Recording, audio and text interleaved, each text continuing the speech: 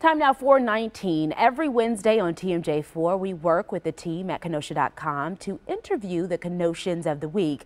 They are members of the Kenosha community doing great things. And this week, we have a special guest who's going above and beyond for her community. 14-year-old Ashleigh Ours is a volunteer and mentor. She's been working for Job Daughters International, which is a large organization that helps young women develop mentally, socially, and professionally. And within her role, she's been working to raise funds for a nonprofit project called HIKE, which stands for Hearing Improvement Kids Endowment. And her efforts have not gone unnoticed. She has shattered her fundraising goal by over a $1,000. And Ashleigh Ours joins us now live on the news at 4. Ashleigh, thank you for being with us. A big congratulations to you for being named this Kenoshan of the Week. So we want to start with your participation as the Wisconsin Youth Hike Coordinator. Can you tell us a little bit about your role and just the responsibilities that you have at such a young age? So my role is to be able to promote and fundraise nonprofit grant money to families in need of hearing devices or specialty services for their children to be able to hear. Hmm. So how long have you been with Job's Daughters and how did you get into it? So I've been in Job's Daughters for four years now, and this will be my fifth year here coming in September on the 11th. Hmm. And I started because my mom was a Joby before, and we figured might as well just keep that legacy going on legacy going on. And you are helping raise funds for the non, we're looking at pictures now. So you're helping to run, uh, raise funds for the nonprofit Hearing Improvement Kids Endowment, which provides financial help to families who have children in need of hearing aids, which is really sweet. So you actually went above the goal of $5,000. And the fundraiser is still going here. So what's your strategy to finding donations? Like, how have you made this work? So my strategy is even though some of the things that I couldn't do in person, I was able to create ideas of doing it online. Hmm. And how have you done that? Like, what are you doing online? What can we see?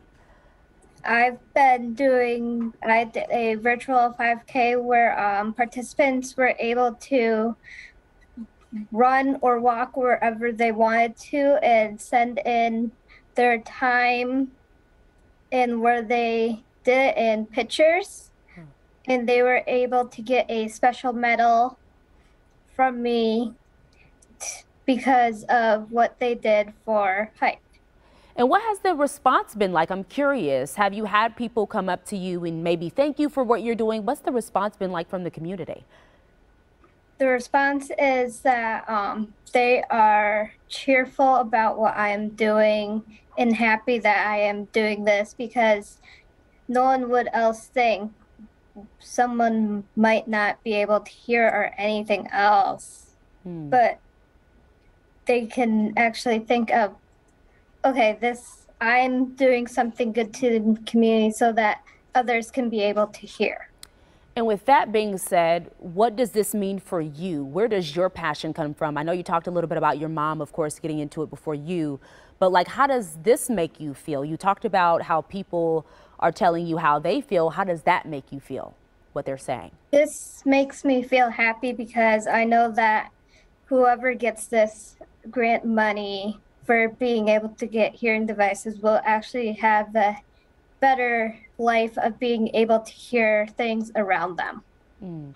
And actually coming up in August, you'll be getting a celebration reception in honor of your fundraising. Was this a surprise for you? How did you find out about this? So I found out about this from my mom and my um, advisor who helps me with this. They both are planning this for me, but more or less it is to celebrate all of my success of being the youth coordinator. How are you feeling about it? Are you excited? Yes, I really am excited about it. Well, good for you. We're so excited for you. And lastly, before we let you go, what does it mean to you to just have this kind of recognition to be the Kenoshan of the week? It means to me that I did something really improving in the community and that no one else might think of this as an idea. Yeah, and you are, and we're glad you're getting the recognition that you are. Ashleigh, in this digital world, where can we follow? Where can we follow you and um, see all of the fundraising and organizations and all that? You can follow me on Facebook by looking for Wisconsin Hike Youth Coordinator.com.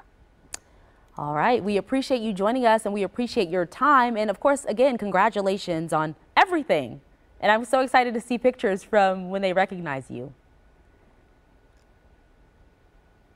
All right. Well, again, 14 year old, this week's Kenoshan of the Week, that is Ashleigh Ours, doing amazing things in our community. A big congratulations to you and thank you for joining us on the News at 4. And of course, if you would like to read more about Ashleigh's work and the work of others in the Kenosha community, all you have to do is visit Kenosha.com. You'll also be able to find a story on TMJ4's very own Adriana Mendez, who grew up in Kenosha and shares her story of how she got to where she is today. And I read it and it's really good.